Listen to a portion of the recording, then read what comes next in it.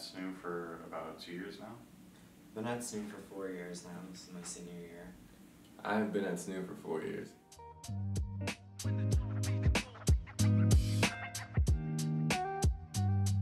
A regular day, like for me, is I wake up midday, go to class. Right after class, I usually have either a meeting for uh, SNU Style Club or I have volleyball practice. My regular day like at SNU is I have basketball practice in the morning, and then I go to class, and then I practice basketball practice in the evening. Sometimes we watch film, sometimes we have weightlifting. It varies. On the weekends, I like to go home. If I'm not staying here, if I'm still here, I like to go and to do photos, kind of travel around, spend spend my time away from the campus as much as possible.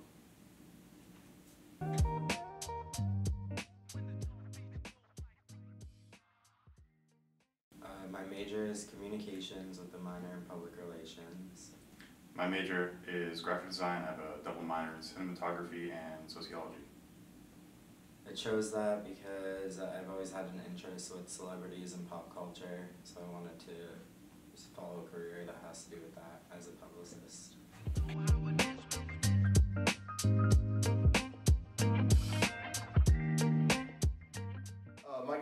Sodexo meal is probably anything that isn't on this campus. My favorite memory with SNU is probably when I got a chance to study abroad in Florence, Italy. Taught me a lot about the culture over in Europe, and um, just traveling Europe was a really cool experience. Uh, my favorite spots in Europe were probably Florence, Italy, or um, Munich, Germany for Springfest was really fun. The reason I chose SNU was because of basketball. I came to SNU my senior year of high school and visited. I met the basketball team, as well as I got an opportunity to go to Greece and play basketball there for two weeks with the team and got to see the culture. Uh, my favorite building on this campus is probably the library, just because it's so beautiful and there's so much natural light. I'm in the Student Athlete Advisor Committee here at SNU, where we take care of the welfare of the athletes. We try to take care of any of the complaints that they have, um, and we try to make them all one and unite them as a whole. My favorite memory here at SNU is winning an NE10 championship my freshman year.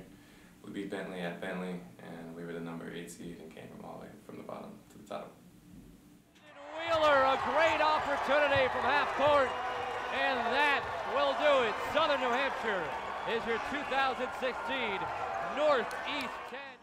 SNU Style Club is a club that focuses on uh, fashion, learning about fashion for either new people or expanding people's knowledge on fashion who are fashion majors.